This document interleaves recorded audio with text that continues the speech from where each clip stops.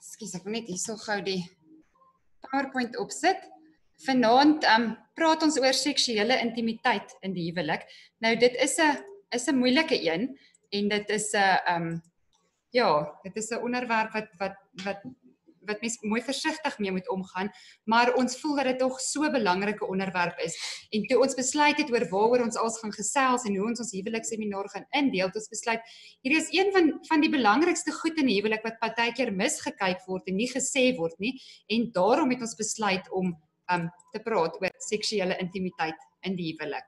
Nou dit is Pieter Pieter Leroux vir die wat hom nie ken nie. Dit is my man en hy is die dominee van Gereformeerde Kerk Wonderboom Poort en um hy het vyf kindertjies saam met my en um ja, hy gaan vir ons vanaand 'n groot gedeelte van die van die Bybelse riglyne vir seksuele intimiteit hanteer. Ja, en Karina is um soos sy sê, dis nou my vrou, sy's ook 'n kinderkinetikus en sy's die ma van van hierdie vyf kinders. Um wat wat wat nog wat almal jonger as 7 is. So um ja, dis so net, net so ietsie oor onsself. Julle maar ek ek um ek wil ook sê dat hierdie um wat ek in die gebed genoem het dat die die seksuele Jesus Christus is koning van ons hele lewe van elke aspek van my werk van my alles en hy is ook hier van koning. En ek wil ook sê dat vanaand sinne um ek en Karina as 'n dominee en 'n dominee se vrou en ons het um te doen met um met huwelike ook in ons in uit die aard van my werk en mense sien ook hoe belangrik hierdie aspek is in in huweliksberading en en en in ons huwelike. So ons gaan ons is nie ons is nie mense wat ehm um, 'n uh, eh, um, mediese kennis en so voort het nie, maar on, ons ons ons kom praat uit die woord en ons is lief ons is lief om daaroor te lees ook. So dit is dit is die agtergrond waaruit ons praat. Maar ons is nie sexperts nie. ja. En en um so ons sê dit uh, vooraf so die, die doel vir vanaand se lesing is regtig om die lig van die woord te laat val op hierdie um pragtige uh, deel van God se skepping uh, in die huwelik. Goed, dan gaan net so vinnig ons 'n terugblik gee oor dit wat ons nou tot dusver gedoen het. Sessie 1 het ons bietjie gepraat oor die mense agter die masker. Wat is 'n huwelik? Wat is 'n gesin? En dit sluit baie nou aan by vanaand se lesing. So, ehm um, daarom gaan ons nou nie vandag weer praat oor die huwelik in beginsel en die gesin en wat sê die woord daaroor nie. Dan ehm um, sessie 2 het ons gepraat oor kommunikasie in die huwelik en julle gaan ook vanaand sien hoe baie mooi alles by mekaar aansluit. Juist omdat die skrif 'n geheel is en omdat mens ehm um, die Here leer ken vanuit die skrif en uit alle aspekte van van jou huwelik. En um kommunikasie wat die seksuele intimiteit in die huwelik aanbetref is verskriklik belangrik. En ons gaan 'n bietjie meer oor dit hoor vanaand. So ons het nou die grondslag van kommunikasie gehad in die tweede lesing en um nou nou gaan ons bietjie dieper daarop ingaan in die seksuele. En dan die dissipline in die gesin, het ons het ons oor gepraat en ons gaan bietjie ook vanaand sal julle mooi sien hoe pas dit ook in. En dan het ons oor die huisgodsdiens verlede week gepraat hoe belangrik dit is en en um, hoekom ons dit moet doen en dan vanaand is dit nou die sosiale afstand wat gevaarlik is en ek dink julle sal met my saamstem Um almal van ons voel so 'n bietjie depressief en almal van ons voel so 'n bietjie moedeloos omdat ons nie mekaar sien nie. Um oh, ek praat nou van jou vriende en jou familie en jou mense en en almal wat jy altyd sien en nie maar die kinders huil want hulle wil hulle maatjies sien. So ek weet ons moet sosiale afstand ter wille van die virus handhaaf, maar dit is gevaarlik en is veral gevaarlik in jou huwelik. En hierdie wat jy ervaar met um met die die die sosiale afstand nou uh, om nie by mense te kan uitkom nie en en en dit is eintlik presies nê wat afstand in die huwelik doen en dit is presies wat wat wat nie met mekaar praat nie nie met mekaar kontak hê nie um doen aan intimiteit in jou huwelik. So die dit dit dan ook nou die tema sosiale afstand is gevaarlik in die huwelik. Goed, dan um dit is eintlik so mooi as ons nou praat, ons sal bietjie nou-nou praat oor die terme, um um um intimiteit en wat dit beteken, maar in die hemel gaan daar nie 'n huwelik wees nie. Daar gaan nie huwelike wees nie. Ons gaan nie ons gaan nie getroud wees nie. So dit is 'n aardse geskenk wat die Here vir ons gee. Maar dit wat die huwelik gaan beteken of dit wat die huwelik na toe heen wys en waartoe die huwelik op pad is, dit wat die huwelik eintlik beteken, dit gaan daar wees in die hemel. Ons as as bruid van Christus gaan getroud wees met hom en dan in in volle gemeenskap met hom staan en in volle intimiteit met hom leef. En dit is wonderlik en dit is iets wat ons vir julle moet onthou deur die loop van vanaand en deur die loop van hierdie sessie. So die wonderlike hiervan is wat Pieter nou nou gesê het, ons gaan nou die woord uit praat want ons glo dat die seksuele um, deel is. Dit is deel van jou hele lewe. Ons kan dit nie losmaak van die res van jou lewe en die res van jou huwelik nie. En en en daarom leer ons die Here ken. Ja, so ek wil net byvoeg die dit wat die dit die heerlikheid en en wonder van die huwelik in die naam van die Here wat uh, ons nou reeds ervaar en nou reeds beleef, dit is eintlik nog voor dit dit dit is nie die nie die ultimate nie as die Engelse woord uh dit dit wys hier na die eintlike wat nog op pad is. So ehm um, ek dink dis iets wat belangrik is om te onthou vanaand.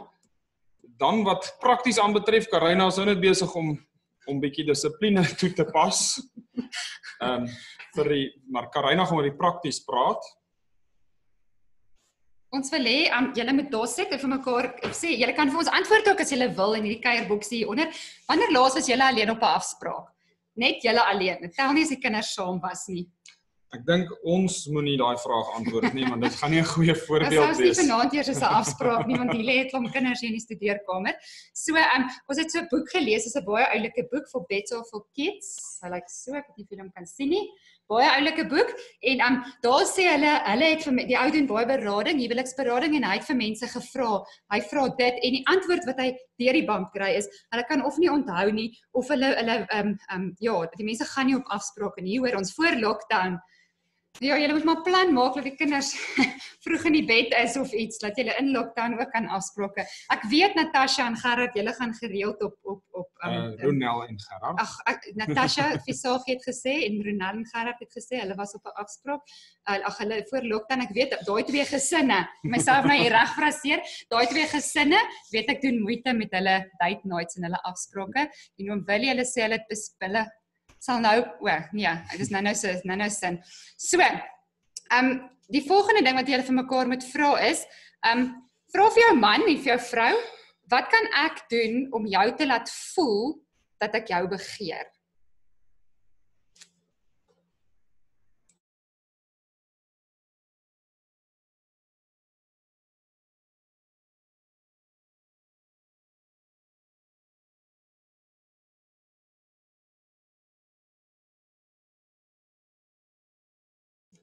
Goed, genoeg tyd julle kan maar later daaroor gaan top. Ehm um, dan die volgende vraag is as ek wat doen of wat sê, voel jy geliefd en mooi? En ek dink by die vrouens is dit meer is dit meer ekskuus ek net die mense hier toelaat. Ek dink by die vrouens is die mooi dalk meer pizza altyd 'n man man is nie mooi nie. Nou sê die seentjies ook al mamma is mooi, pappa is nie mooi nie, want 'n man is nie mooi nie. Maar mans wil ook voel hulle is mooi dink ek. Ehm um, so wat wat as ek wat sê of doen, voel jy geliefd en voel jy mooi. So dis net so praktiese dinge en dan gaan ons 'n bietjie oor na die teoretiese toe.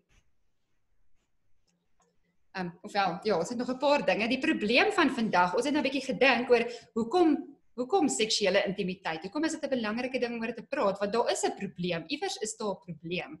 Want um, mense sukkel hiermee en ek ek dink die groot probleem is is dat ons nie hieroor praat nie. Dit is een van die grootste probleme en met mekaar nie en dat ons nie iemand het wat ons kan vertrou om om om mee te praat nie. Maar ons as huweliksmaats praat ook nie noodwendig met mekaar hieroor nie. En um So die eerste probleem is dat ons 'n versteurde beeld het van seks. Ehm um, in die ons ons word geleer, veral ons ons doppers en ons wat gereformeerd groot word, word baie mooi geleer jy bly weg, dis 'n taboe. Dit is lelik, jy raak nie daaraan nie, jy vat nie daaraan nie. Bly net weg, moenie swanger raak nie, moenie moet niks nie. En nou trou jy En die dag van jou troue verander hierdie alles. En nou sit skielik nou mag jy nou sit mooi en nou sit en en en um, ek veralgemeen nou vreeslik baie maar dit is wat ek wonder is dit nie dalk um wat vir ons dan nou in die huwelik ook hierdie versteurde beeld gee van wat dit regtig is nie want dit was nou lelik en nou sit mooi maar wat is dit nou eintlik en um ons dink ook baie daaroor om dan jou kinders mooi te leer die mooi daarvan voordat hulle by die maatjies die lelik daarvan leer en dan maar ma met hulle te praat daaroor en dan um, ons gejaagde lewens maak dat ons te besig is vir mekaar en om te werk aan ons huwelike. En um dit gebeur ook dat mense baie keer 'n ander verwagting het van seksuele intimiteit. Um voor die tyd as wat wat nou die werklikheid is. So ek wil hê julle moet vir mekaar nou 'n bietjie vra. Um hoe het jy verwag gaan ons seksuele intimiteit wees nou in hierdie seisoen waarin ons mekaar um, waarin ons nou is. As jy nou 10 jaar getroud is of 5 jaar of dalk het jy glad nooit eers daaroor gedink nie en ek skrik elke keer as ek sien iets in die chatbox. Ek bang julle antwoord my vrae wat ek ja. wat ek hier vra. O, kan is daar ander mense wat ons kan hoor want dis mense wat sê hulle kan ons nie hoor nie. Dis nou net seker maak. Ja. Of... Ons hoor julle baie duidelik, maar dit 'n bietjie skaal om te antwoord. Goed, dankie. Ek dink um Johan en Henriet, julle moet dalk kyk of julle gekoppel is met klank. Um partykeer dan koppel jou klank nie. Julle kan dalk uitgaan en weer ingaan. O, maar julle kan my nie hoor nie. Sorry, hier is my blonde oomblik. Ek kan net hier tik vir hulle.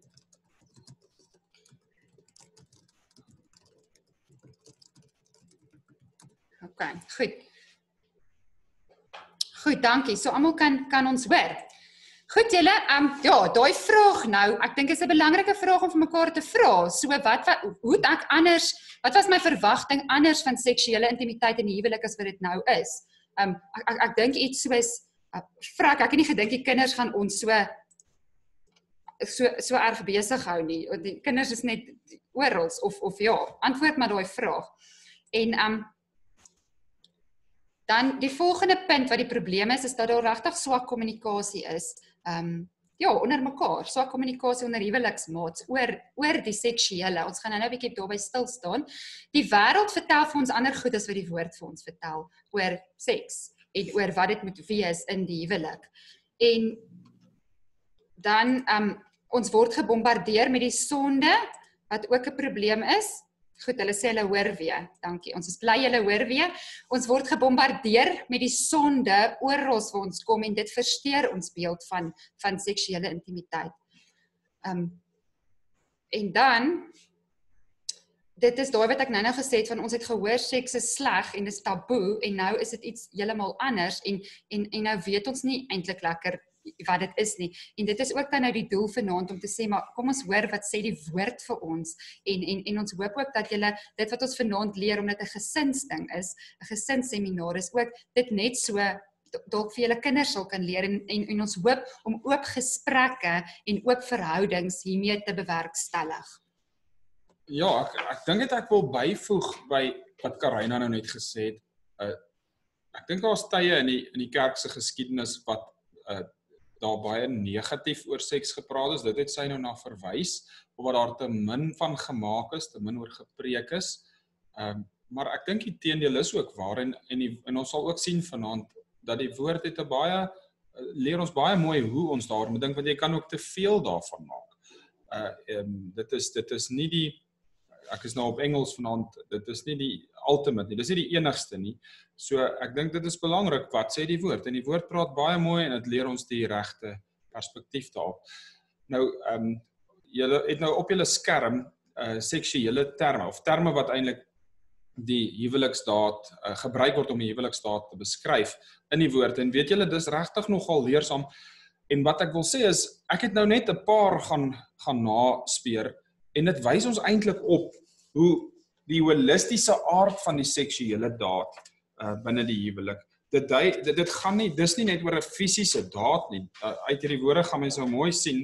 Dit gaan eintlik oor 'n uh, geestelike, fisiese, emosionele eenheid wat daar tussen twee mense is en wat dan uitdrukking vind ten diepste um, in die um, intieme seksuele gemeenskap. So, die eerste term, julle kan in die kolommetjies van bo na onder is uh, ja, daar's nou die eerste woord is die Hebreëse woord wat beteken om te ken, 'n uh, intieme gemeenskap um, om mekaar te leer ken. Daar in Genesis 4 vers 1, die mens het sy vrou Eva beken, so die die letterlike woord is om te ken.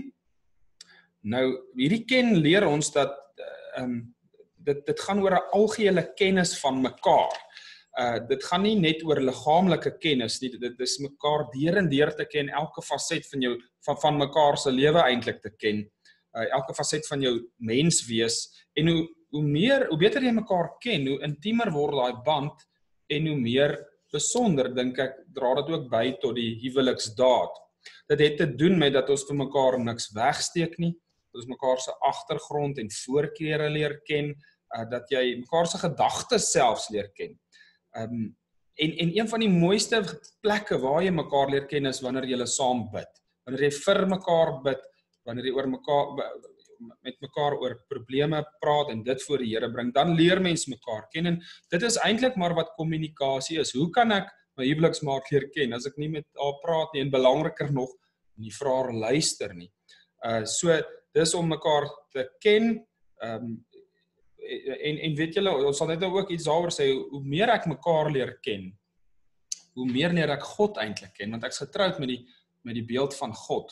So iets van God se karakter word in my huweliksmaat uh bekend aan my en hoe beter ek haar kan ken in die verlossing van Christus, hoe beter leer ek God ken. So gemeenskap met mekaar en kennis van mekaar lei tot 'n uh, kennis dit uh, meer kennis en gemeenskap van God ook. Die die twee is bymekaar. Die tweede een is daar in die middel. Uh dis die Hebreëse woord egat bashar, een vlees word. Dit ken ons nou almal goed by die instelling van die huwelik Genesis 2 vers 24. Daarom sal die man sy vader en moeder verlaat en sy vrou aankleef en hulle twee sal een vlees wees. Hierdie teks is baie belangrik want dit word in die Nuwe Testament 'n paar keer deur Jesus self herhaal en deur um, die apostel Paulus al, dit ook baie aan.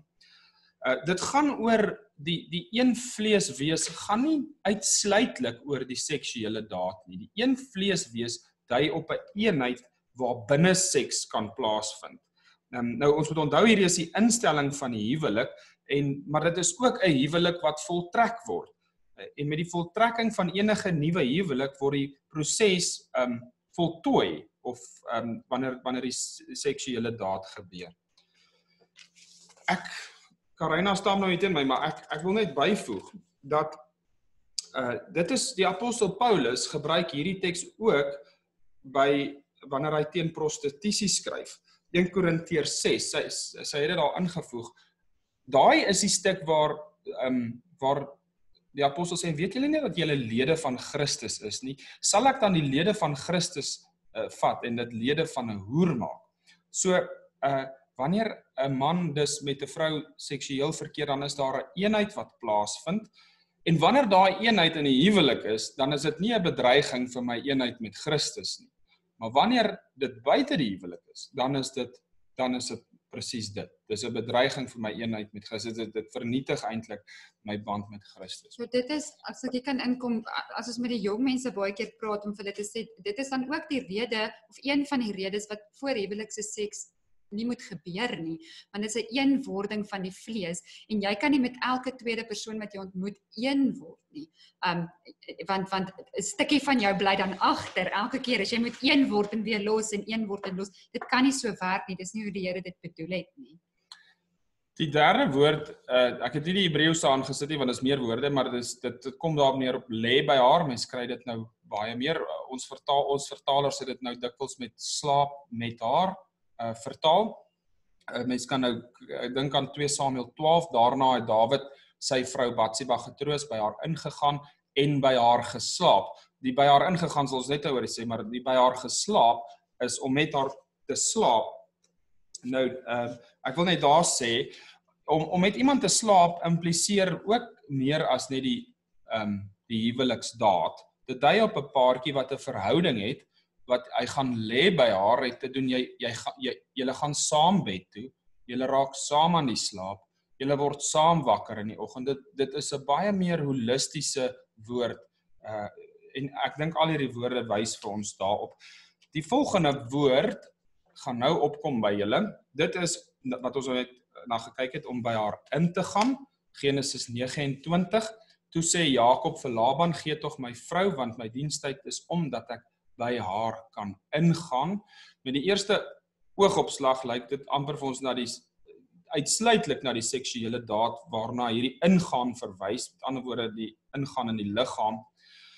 Maar die die die begrip is ryker.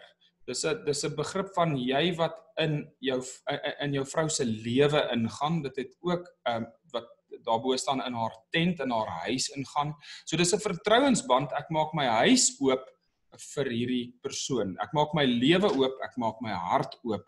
Ehm um, ek laat iemand toe by my. Ek laat iemand ingang om om in die diepste ehm um, veilige om uh, area van my hart daarby in te kom. En weer eens die seksuele is 'n holistiese ding. As ek reg is, lees ons mos in Hooglied ook nogal van daai daai ingaan. En um, Ja. en en in Hooglied is dit nogal as mens nou gaan lees na wat wat van die kommentare sê 'n- baie gelaaide term of ek weet nie hoe om Mm. te sê nie. So ons gaan nou nie in al die detail hier ingaan oor dit nie, maar dit is baie eksplisiete seksuele taal en in en wat baie in Hooglied nogal gebruik word. Ja, die spesifiek die ingaan is daar in, uh, in Hooglied 5 is daar uh word daar gepraat van 'n opening en en en en uh, sonder om te veel te sê gaan lees self 'n Hooglied, maar dit hy ook dit dit sluit dan aan by hierdie ingaan en is nou bietjie selfs nog meer ehm um, wil ek amper sê ehm um, heilige eksplisiete taal wat gebruik word. Die Karina wil sê Ja, ek dink die punt wat mense net hier hier uit kan sien tot dusver is dat die Bybel praat regtig oor seks en en um ek, ek dink regtig as jy moet as jy vir jou kinders die Bybel gaan lees, gaan ons sekere goed wees wat jy op hulle vlak vir hulle gaan moet verduidelik en moet leer en ons kan nie hiervan wegskram nie. Ons kan nie net sekere gedeeltes um um lees nie en en dis regtig so sê die Here, hierdie is wat dit is. ek dink iets wat wat regtig so is en di- dit is ehm um, is dat vertalers dikwels ek dink oortree om dinge ehm um, vir veral seksuele taal in die Bybel ehm um, dit dit dit sagter of ehm um, dit bietjie te probeer verbloem deur dit sagter te vertaal. Uh nou die punt is net oh, dis dis hoekom dit vir ons goed is om na die oorspronklike te gaan kyk want dit is regtig nogal in ehm um, soos ek net nog gesê het heilige eksplisiete woorde. Die volgende een is in daai middelste kolommetjie tsagak wat beteken om te lag met iemand om 'n uh, um, mens kan dit ook met um, speel met vertaal uh maar die letterlike is om te lag met hom saam pret hê. Nou ken ons daai geval waar Isak um moes gaan hy hy uh, vanweë hongersnood is hy na die Filistyne toe en hulle koning Abimelech en um hy het toe gesê mos Rebekka omdat sy so mooi is uh, sy sy sussie en en toe het koning Abimelech hulle, hulle koning deur die venster gekyk en hy en dan dan staan daar um en hy sien hoe Isak speel met sy met Rebekka sy vrou. Uh, die oorspronklike staan daar hy lag saam met haar. Uh nou die oh, hy die koning sou nie afgelei het dat dit sy vrou is net omdat hulle saam 'n grappie gedeel het en gelag het nie. Hy het gesien hierdie is meer as dit. So um, hierdie woord lag met beskryf ook baie mooi um, die breër konteks wat insluit die huwelikstaat. Uh dit is ook terloops wat um, Potifar se vrou het toe toe sy het vir haar man gesê hierdie hierdie Hebreëse knegg wat jy vir ons hier gebring het het na my gekom om met my gek te skeer. Daai oorspronklik uit om met saam met my te lag, om saam met om met my te speel. Dit is definitief seksuele taal wat daar gebruik word. As ons dan so 'n uh, bietjie na die Nuwe Testament gaan kyk, hierdie heel regterkantste kolom ego, uh dit beteken om te hê. Uh dit is nou 1 Korintiërs 7 waaroor ons so 'n bietjie meer ook gaan sê vanaand. Vanweë die hoerery moet elke man sy eie vrou hê en elke vrou moet haar eie man hê. Nou daai hê is is um hy bedoel seksie uh, hy bedoel die huweliksdaad uh ehm um, want dit gaan nou oor die vraag wat die ehm um, gemeente aan hom geskryf het en hy antwoord eintlik nou hulle vraag. So uh, dit is ook toe Johannes vir Herodes, dis hoekom Johannes die doper doodgemaak is want hy het vir vir hom sy vir, vir die Herodes gesê dis nie geoorloof om u broer se vrou te hê nie.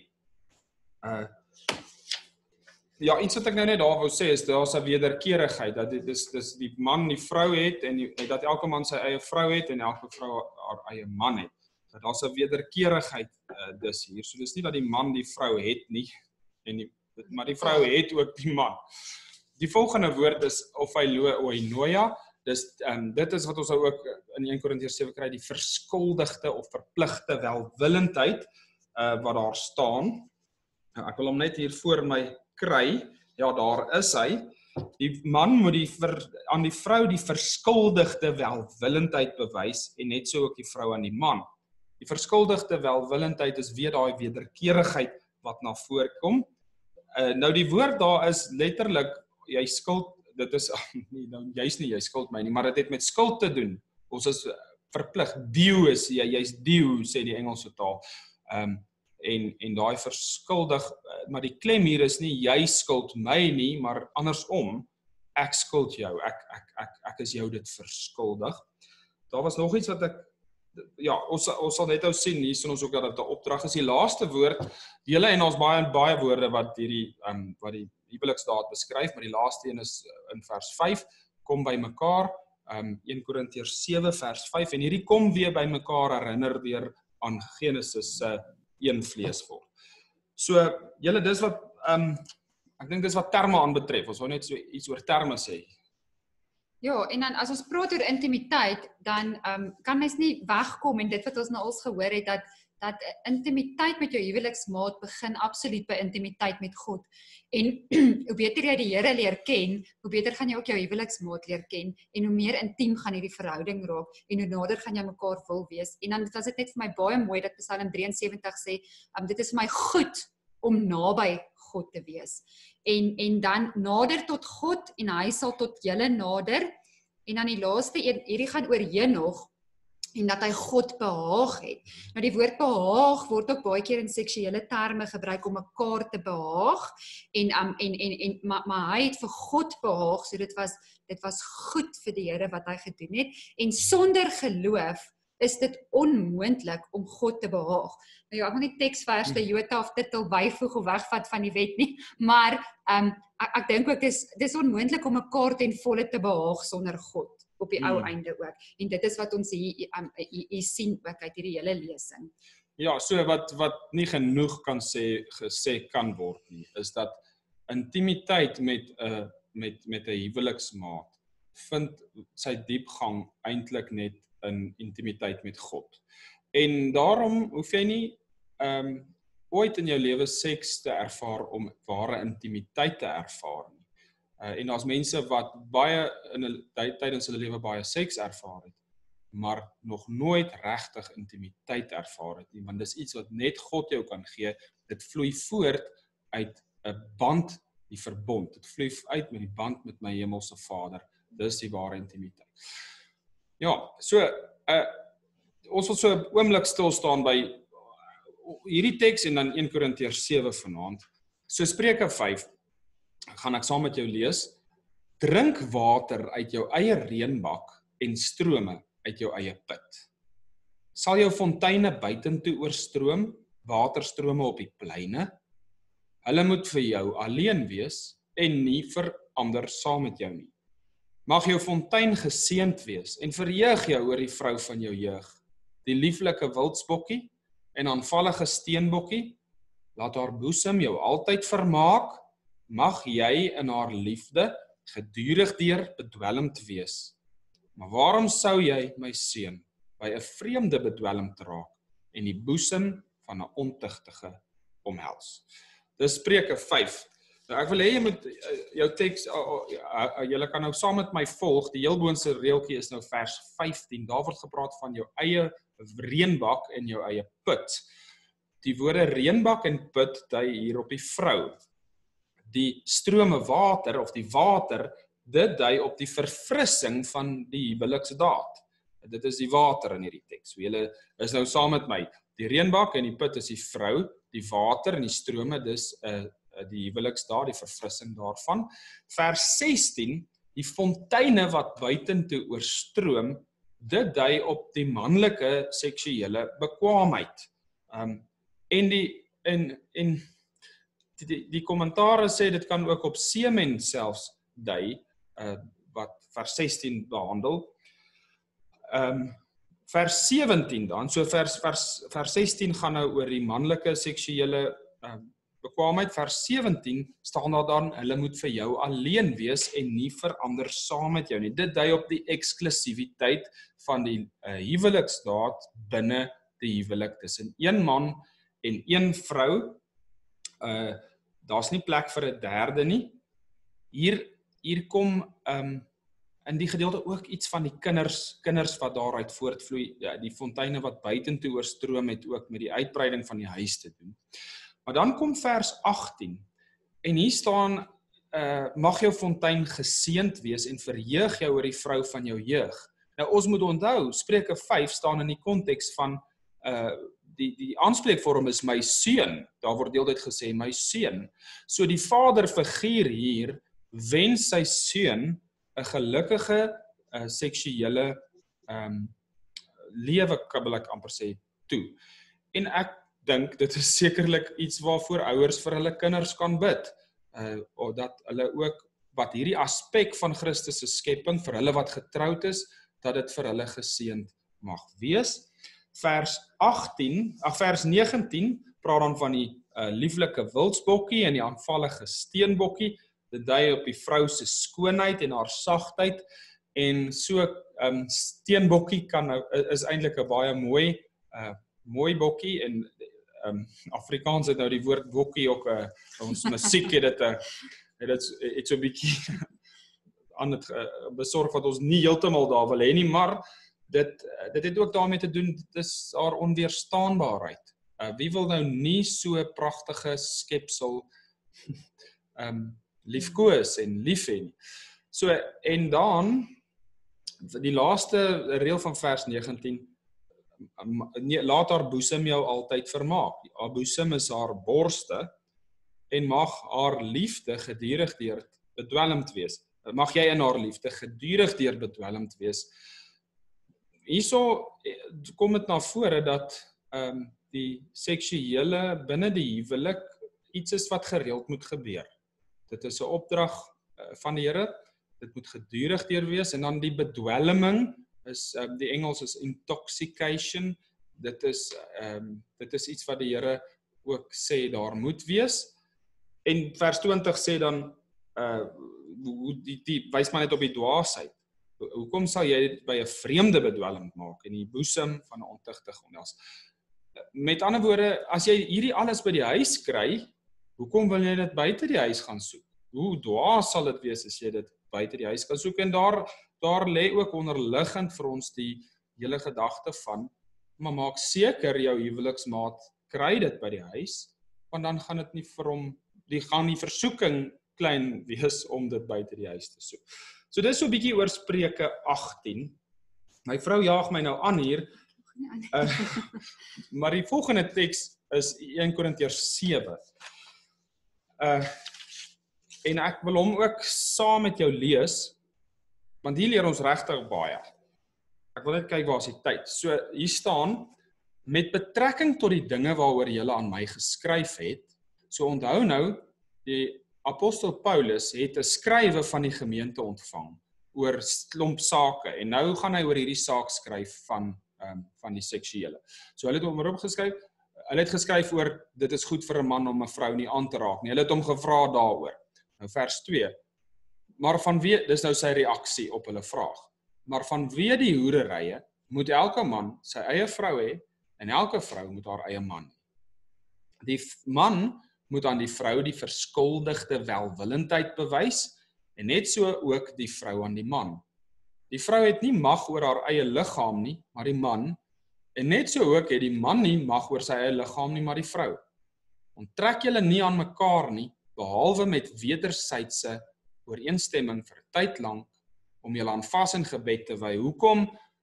Uh, waarom want kom weer by mekaar sodat die Satan julle nie in die versoeking bring deur julle gebrek aan selfbeheersing.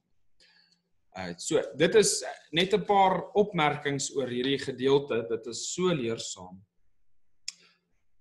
Hierdie gedeelte leer ons dat gereelde uh seks in die huwelik is 'n beskerming teen sonde.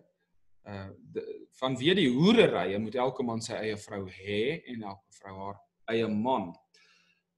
Dan staan hier die man moet aan die vrou die vel 'n verskuldigde welwillendheid bewys en net so ook die vrou aan die man daai wederkerigheid. Daai welwillendheid, hele die oorspronklike taal ehm um, dit dit gaan oor die dit is twee woorde dis oi noia. Die oi beteken goed En noia beteken gedagte of eintlik jou jou gemoed. Dit wat daar waar jou gedagtes aangaan. So hierdie verskuldigde welwillendheid het ook te doen en dit gaan hier oor die huwelikstaat, maar dit het ook te doen dat ek my gemoed uh goed sal hê vir my huweliksmaat. En ek dink daar is iets ook aan die huweliksdaad wat ons hier sien dat dit het te doen met in stel jouself in daarvoor. Uh mens gaan dit is nie van selfsprekend dat twee huweliksmaats altyd behoefte daaraan het nie, maar dit is iets waaraan mens moet dink en jy moet jou gemoed ook daarna toe instel. Daai welwillendheid het dan ook dit het absoluut met voordeligheid te doen. So jy is ons is dit aan mekaar verskuldig. Dis 'n verpligting wat God op ons sit uh, om dit vir mekaar te bewys en dit is vir mekaar voordelig. Hierdie teks sê dat gereelde seks binne die huwelik is voordelig vir jou huweliksmaat. Uh Karina wil aangaan, maar ek wil net gou kyk of ek alles gesê het. Hy hy sê ek jaag hom aan, maar eintlik liefkoes ek hom net 'n bietjie. Vers 5, julle as dit nou duideliker gesê kan word, dit hier staan dit is 'n opdrag. Dis 'n duidelike opdrag vir getroude mense in die Here om gereelde seks te hê. Ehm um, moenie jou onttrek aan jou maat nie. Dit mag jy net doen wanneer jy dit ooreengekom het met mekaar en nie sommer vir enige rede nie om julle aan gebed en vas te wy, aan vas en gebed te wy. Um, maar selfs dan moet dit nie vir lank wees nie sodat die Satan julle nie in die versoeking bring deur julle gebrek aan selfbeheersing. Uh ja, ek dink dis wat ek oor 1 Korintiërs 7 wou sê. Karina het hierdie ingevoeg, seksuele intimiteit is 'n opdrag wat ons nou net gehoor, Psalm 45 sluit daarbey aan. Hoor o dogter en kyk en neig u oor en vergeet u volk, die huis van die Vader. En as die koning u skoonheid begeer, want hy is u Heer, buig hy dan voor hom neer. Uh dit is ook nou die verskuldigde welwillendheid wat die vrou aan die man moet bewys, soos die man dit ook aan die vrou moet bewys. En dan die rede hoekom ons Efesiërs 5 hier ingesit het. Efesiërs 5 is die teks wat uh vir ons wys op die wat ons die verborgenheid van die huwelik wys en dit weet ons in almal wat inluister nou baie goed. Die doel van die huwelik die die is om heen te wys na die verhouding tussen Jesus en sy bruid. Nou dis iets waarmee ek groot geword het en dit is vir my nog altyd mooi en pragtig. Maar weet julle, ek het nooit besef dat die seksuele deel is van daai refleksie nie. So ons huwelike is 'n refleksie van 'n groter en heerliker huwelik, die huwelik tussen Jesus en sy bruid. Dis waaroor Efesiërs 5 gaan. Maar deel van daai refleksie en iets wat 'n groot rol speel in daai refleksie is ook vers 31. Daarom moet die man sy vader moeder verlaat, sy vrou aanleef en hulle twee sal een vlees word. Dit vat ons terug na die seksuele daad leer ons iets van ehm um, die heerlikheid van die verhouding tussen Jesus en sy bruid. En uh en en en en hier's my laaste sin Karina already. Seksuele intimiteit in die huwelik is die naaste wat ons kan kom aan die verstaan van die diepte, intimiteit, nabyheid, eenheid en enigheid wat Jesus se kerk met hom geniet. En nou praat ja. ek oor. nou ons het hierdie lesing vanaand genoem intimiteit. Nee, dis ja. maar maar dis belangrik om uit te lig dat intimiteit en seks nie nie sinonieme is nie. Uh gaan soek daai teks op van waar waar Dawid en daarna Dawid praat oor Jonathan oor hulle vriendskap. Dan dan dan is daar regtig intieme woorde wat gesê word en daar is geen ehm um, gedagte aan homoseksuele iets nie. Ek ek sê dit al maar net want ehm um, as jy dit lees sonder dat jy die konteks verstaan kan jy self so dink. Maar daar's geen sprake daarvan nie. Dit is vorige geslagte het baie meer van vriendskap gemaak as ek dink wat ons soms maak. Uh so intimiteit en seks is nie dieselfde ding nie. Uh gelowige ervaar intimiteit son enkel lopende gelowiges sonder dat hy ooit seks het en en dis nie dat hy minder intimiteit ervaar nie. Hy hy, hy ervaar dit eintlik hy soms geleentheid om meer vriende te hê, beeld van God vriende te hê um, en op 'n wyeer spektrum intieme bande te hê met mense al is dit nie huweliksbande nie. Uh so ehm um, so die ongetroudes wat inluister uh, vanaand ek ek dink nie jy het minder intimiteit nie. Uh en dan is dit belangrik om te sê dat binne die huwelik is seks 'n uitdrukking van daai intimiteit. Dit skep nie intimiteit nie. Uh seks kan nie intimiteit skep nie. Dit dit is 'n uitdrukking en verdieping van 'n intimiteit wat reeds bestaan, intimiteit tussen man en vrou in die Here. Ehm um, ja, en dan is dit van selfsprekend. So is weer prak praktiese iets. Sê bietjie vir mekaar daar, die die mees intieme oomblik saam met jou is wanneer ons en dan Ja, ek ek gaan tog vir julle voorbeeld noem. Pieter sê altyd in die oggend, hy wil so graag saam met my koffie drink. Hy sê want dit is um, dan verkeer ons intiem as ons sit en koffie drink en kan sit. So so die, die eerste keer toe hy vir my sê kom verkeer intiem met my toe hy met die koffiebeker in sy hand so te gedink, "Wat? Wat gaan hier aan?" Dit en ek nie lekker verstaan nie en um tot ek tot tot jy besef wat daai woord intimiteit beteken. So sê vir mekaar bietjie daar, wat is die mees intieme oomblik saam met jou?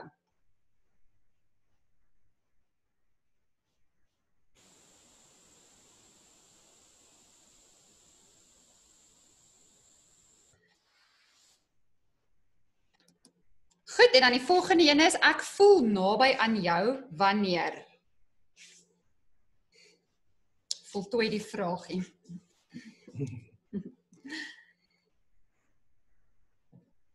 OK, dit was dit. Ja. Ek sien ons het nog so 15 minute die die die oor die doel van seks. Ehm um, nou ek ek wil hierdie boekie vir julle wys. Ons sal aan die einde vir julle nog boekies wys. Denny Neuer. En Denny Neuer staan daar van Adrian en Celia Reynolds. Ek het dit by Augustine Boekroom um, gekry al 'n tyd terug. Maar ehm um, hulle het hulle het 'n paar dinge uit die woord uit gelys oor die doel van die van seks. Binne die huwelik, die seks die huweliksdaad maak dat ons God in Christus beter leer ken.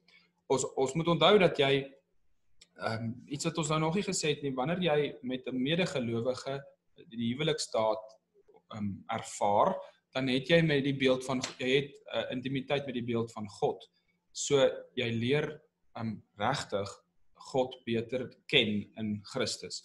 Uh, die tweede ene is om uh, die doel van seks is om die Satan en verleidelikhede van die wêreld weg te hou.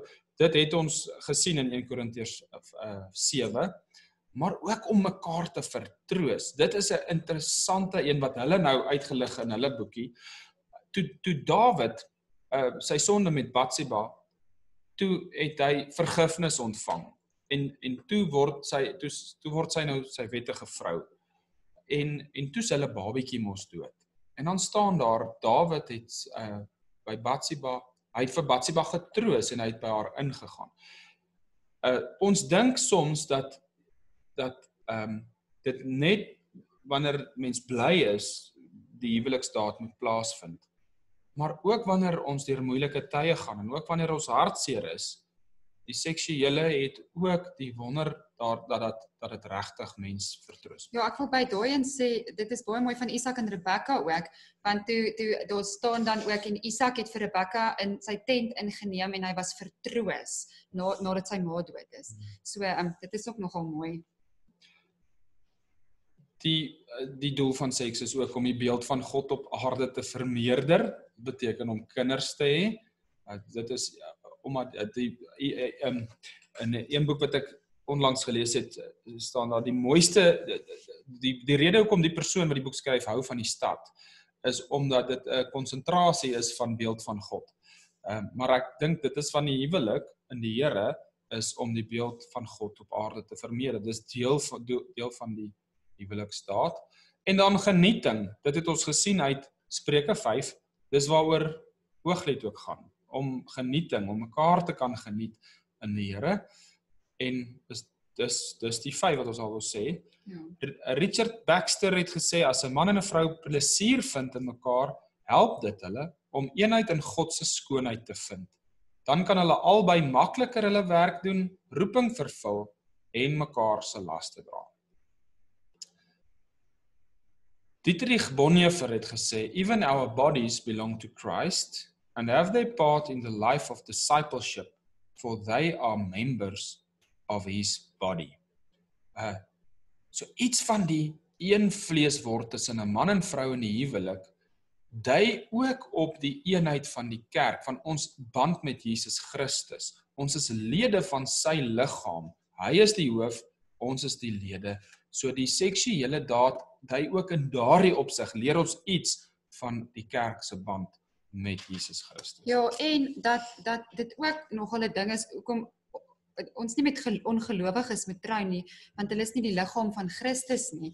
So ehm um, so jy word een in vlees met iemand wat nie eintlik ehm um, ja, of ja julle liggame word een maar julle is nie eintlik deel van dieselfde liggaam nie en dit is hoekom daar so baie probleme kom wanneer 'n uh, gelowige met 'n ongelowige trou. Ja, terwyl Karina aangaan met die na die volgende slide toe, uh, dit is iets wat ek dink ons nie genoeg moeite mee doen nie is om met ons kinders om ons kinders te leer spesifiek pertinent. Die woord is baie duidelik daaroor. 'n Gelowige 'n ongetroude gelowige wat wil trou, trou net met 'n gelowige. Dis daar's baie dinge wat nie duidelik vir ons gesê word uh waarvoor mens wysheid in die woord in die lewe nodig het. Maar hierdie is een van daai dinge wat die Here net duidelik vir ons sê. Jy hoef nie verder te dink daaroor nie. 'n Gelowige trou nie met 'n ongelowige nie. Trou nie met iemand wat nie lief is vir die Here nie. Ja. Is dit nou ek? jy kan ja. Ja, so net net die Here sê dat dat seks goed is.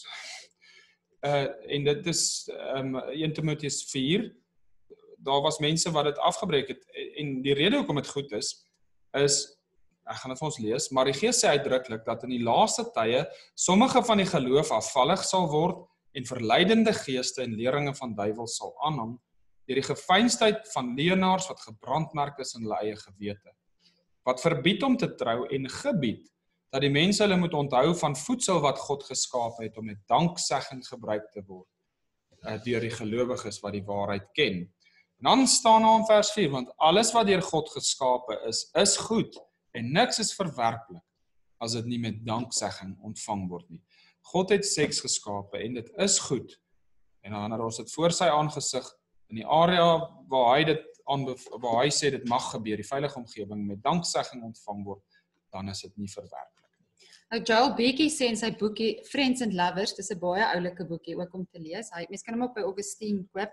Um hy hy hy gebruik daar die voorbeeld van mense wat sê, "Joh, hierdie sjokoladekoek is so lekker, dit moet sonde wees." Hm. Hy sê nou, is dit baie interessant dat ons nou hier sien dat dit juist die twee goeders is wat genoem word in in, in hierdie vers 3, um dat hulle um um ja, van die van die kos. die kos, ja, die kos en die seksuele is altyd die twee goed wat so half met hierdie sonde vergelyk word en wat mense hulle aan vergryp.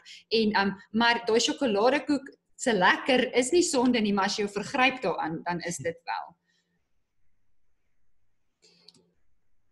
Ja, da, ons sê dit net so ons het gelees uit 1 Korintiërs 7 seks hou die satan weg. Uh, uh, in die huwelik, gereelde seks uh die die gebod wat sê jy mag nie egbreek pleeg nie. Uh dit het egbreek het te doen met um om dit wat eg is te breek. En jy begin met egbreek wanneer jy vir mekaar jok, dan is jy besig om dit wat eg is te breek. Selfs oor klein goedjies, as jy eers oor klein goedjies kan jok, dan kan jy oor groter goed later jok. Um dit het te doen ook met ongeoorloofde intimiteit met iemand anders. En hier sê ek moet net altyd wees versigtig vir WhatsApp en uh jou jou selfoon hoe jy met mense van die ander geslag kommunikeer. Dis baie gou uh, wat daar wat daar 'n um, band vorm wat nie reg is nie.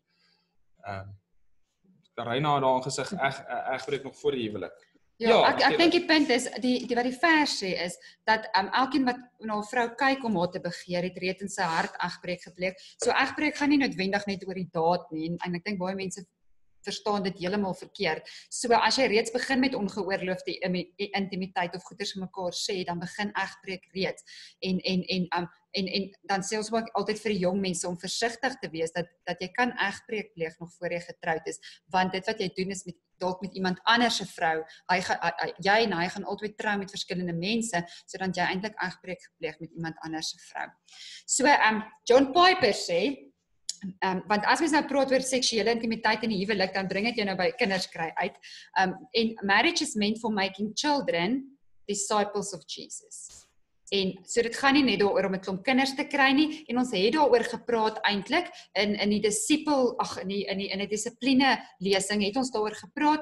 Ons kan nie net kinders kry nie, ons moet hulle disippels van die Here Jesus maak. En hierdie was vir my verskriklik mooi geweest en het ek dadelik gedink ek wil vir julle vra, ehm um, hoeveel kleuterskooljuffrouens ken jy wat glad nie hulle eie kinders het nie? Of menere wat nie kinders het nie. Mense wat met kinders werk, mense wat wat goed is vir kinders, wat kinders disippels maak wat glad nie hulle eie kinders het nie. En dit kom baie duidelik in die skrif na vore dat dit hoef nie jou bloedkinders te wees om hulle disippels te maak van die Here Jesus nie. En en en hierdie vers in Markus is baie mooi wat wat dit uitwys en dan Romeine 9 vers 8 ook. Dit wil sê nie hulle is kinders van God wat die kinders van die vlees is nie, maar die kinders van die belofte word gereken as die nageslag. Ja, ek dink in ons gemeente het soos enige gemeente ook enkellopendes en dit is vir my verstommend om te sien vir ons het nou die koningskinders uitreik hoe hoe baie van hierdie ehm um, van hierdie aspek ehm um, na na vore tot openbaring kom in groepleiers wat 'n band wat wat die kinders leer van Jesus Christus. OK, ons het nou so 'n paar praktiese goed so vir die afsluiting. Ehm um, watse dinge kan seksuele intimiteit negatief beïnvloed? Nou ons gaan vinnig deur hulle gaan en nie by elkeen stil staan nie. Julle kan dit dalk met mekaar gaan bespreek na die tyd. Ehm um, die eerste ding ek het dit in 'n paar artikels gelees dat hulle sê wat seksuele intimiteit beïnvloed is kinders. Die oomblik as mense kinders kry dan is daar moeilikheid en um, dan sukkel hulle met 'n klomp goed en dis baie keer praktiese goed soos te min slaap of die kinders se dissipline wat 'n probleem is. Iets soos borsvoeding is 'n fisiologiese ding wat wat seksuele intimiteit kan beïnvloed as jy bietjie gaan lees oor wat die hormone en al daai goed so en en swangerskap en daai goed so kinders beïnvloed dit. Um pornografie is 'n baie groot probleem. Ehm um, vorige pornografie wat uh, ja, wel ons is geneig om te dink is net mans wat daarmee sukkel, maar ons regtig vrouens wat ook daarmee sukkel, maar vrouens sukkel meer met fantasie is 'n groot probleem in huwelike as dit nie aangespreek word nie. Ehm um, vorige ervarings daarmee en huidige ervarings daarmee, ehm um, um, jy moet regtig hulp soek. Dis waarop dit neerkom. En dan selfsug en selfbevrediging, ehm um, wat ek net daaroor wil sê is, uh, ons het nou mooi gehoor dat selfbevrediging in die huwelik is nie goed nie, want die huwelik gaan nie oor selfbevrediging nie, maar oor mekaar bevredig. Ja, so die die seksie die gawe van seksuele is om die ander een te bevredig. Dis nie om jou dis juis nie om jouself te bevredig. Ja, en mens kry dit dan dat um, by selfbevrediging wat dan daar gebeur is dat ek het jou nie meer nodig om my te hmm. bevredig nie en dan breek jy daai eg en dan breek jy daai intieme band. Dit dit dit ek moet afhanklik wees van jou. Dit is iets moois wat na vore kom. Ek is afhanklik van jou vir bevrediging en ek kan dit net by jou kry. Uh so uh, ek dink dit is dit loop saam met die pornografie. As ek die bevrediging kry op 'n ander plek, dan het ek jou nie meer nodig en dan daai due benevolence of daai verskuldigde welwillendheid van 1 Korintiërs 7 gaan dan verlore.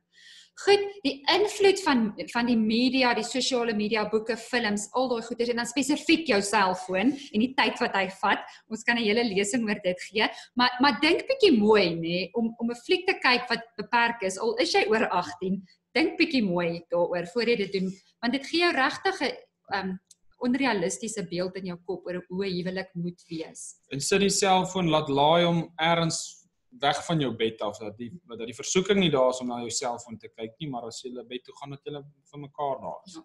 Mediese of fisiologiese aspekte. Hierop wil ek regtig sê, ehm um, gaan sien jou dokter as daar mediese goeters is wat wat wat pla.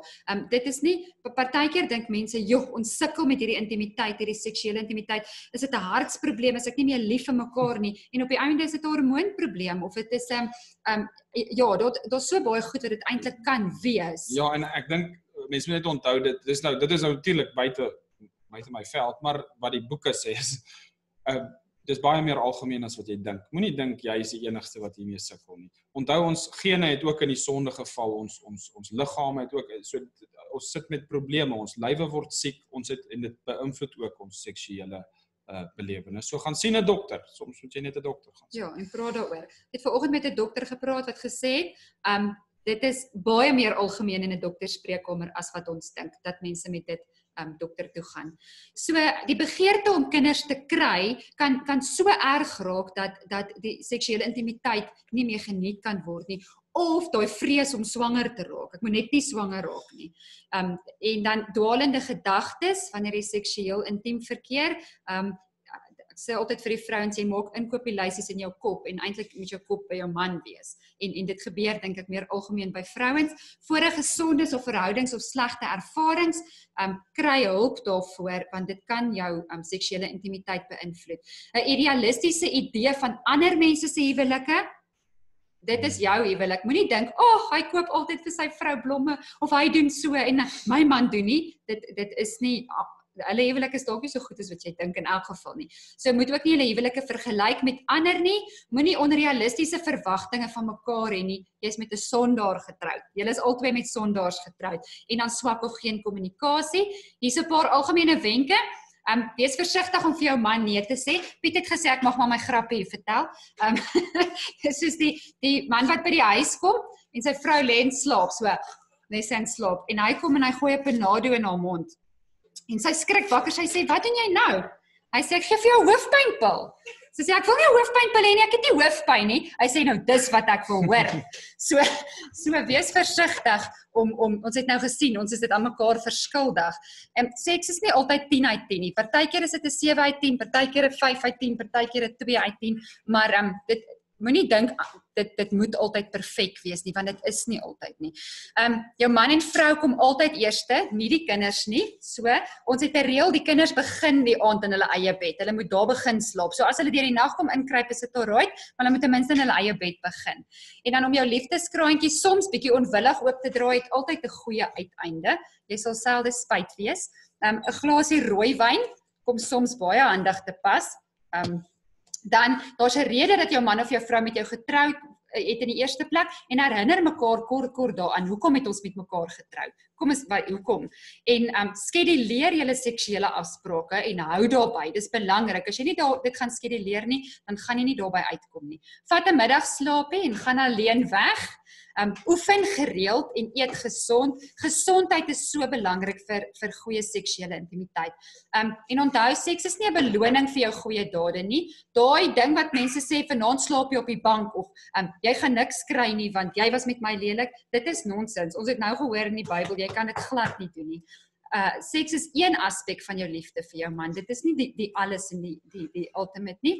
Joel Beatty sê ook in hierdie boekie van hom Sex Starts in the Kitchen. So hoe jy deur die dag met mekaar is, met mekaar praat, dit die intimiteit bou op op die ou einde.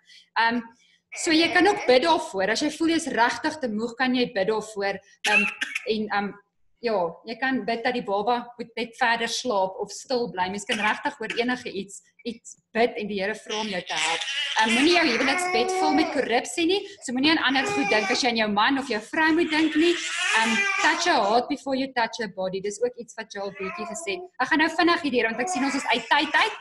Um Christus is jou lewe, seks is nie jou lewe nie. Dis 'n geskenk. Um um, vir dis 'n tydelike geskenk en Christus is ewig. So wees realisties, jy's met 'n sondaar getroud, geniet mekaar, bid vir mekaar en bid vir julle huwelik, bid vir julle seksuele intimiteit en ons het gepraat oor die beeld van God en onthou, ons is nou in die verlovingstydperk, nê, nee, ons as kerk en ons sien uit na die bruilofsmaal van die lam en ons huwelik op aarde is maar 'n klein openbaring en 'n groot verborgenheid van dit wat ons eendag gaan beleef as ons met die ewige bruidegom in die huwelik tree. So ons moet regtig daaroor dink. Praat met mekaar, vra mekaar waarvan hou jy, waarvoor hou jy nie, wat die seksuele ook aanbetref. Dit is belangrik om hieroor te praat en vra mekaar hoe kan ons seksuele intimiteit in ons huwelik verbeter? En um, dan 'n baie belangrike ding, mans vang nie skimpe nie. Ek is nou amper 10 jaar getroud. Nog nie so lank soos party van julle ander nie, maar ek het agtergekom mans vang nie skimpe nie. Jy moet sê wat jy wil sê en hulle kan ook nie gedagtes lees nie. So jy moet vir hulle sê. Goed, en sommige dinge in huwelik kan regtig net nie in woorde gesê word nie. En dit is daai nie-verbale kommunikasie van intimiteit. Humor is baie belangrik. Um praat met mekaar in Bybelse terme dit is iets wat ek net gou wil stil staan. Ons het nou baie terme gekry vanaand in die skrif van om om seksuele intimiteit te beskryf. En as jy regtig nie weet wat om vir mekaar te sê nie en en en jy jy kry nie die taal nie. Besing mekaar se skoonheid en besing mekaar se lof en praat met mekaar in hierdie terme. En aanvanklik kan dit dalk vreemd klink, maar dit is wat die Bybel ons leer. So so jy kan vir jou man of vrou sê ek wil jou hê, want dit is wat die Bybel sê. Dit is dis 'n mooi ding en dit is dit ja. En dan um laaste, heel laaste het ek 'n gediggie van julle ken al die gediggie, maar um my man het gesê ek mag hom maar weer opsit. Uh, dit is nou 'n bietjie meer vir die vrouens. Maak jou lippe rooi en kam jou hare mooi. Trek daai rokkie aan en nooi jou man vir 'n piknik onder die maan. Klink 'n glasie wyn. Laat die wêreld rondom julle verdwyn. Soen hom op sy mond druk hom vas teen die grond. Hy's mos darm jou harte dief en ek hoop julle bly vir ewig verlief. Baie dankie. Goed, as daar ek ons is ver oor die tyd. Jammer julle dat ons nou ons laaste sessie so lank gepraat het hieroor. So as daar enige vrae dalk is, ehm um, kan julle aanhou vra en die wat wil gaan is welkom om te gaan. Ja, so die die lesing is nou verby. ja, terwyl terwyl van julle nou verlaat het eh, iets iets wat mense nou nie ruimte voor gehad het maar tog belangrik is is om te onthou dat ehm um, dat uh die die die volheid van die huwelikservaring kom eers met die wederkoms van Jesus. So ons moenie hooghartig wees om nou dit te wil verwag um, om dit om dit nou van my huweliksmaat te verwag nie. Uh en dan moet ons ook die genade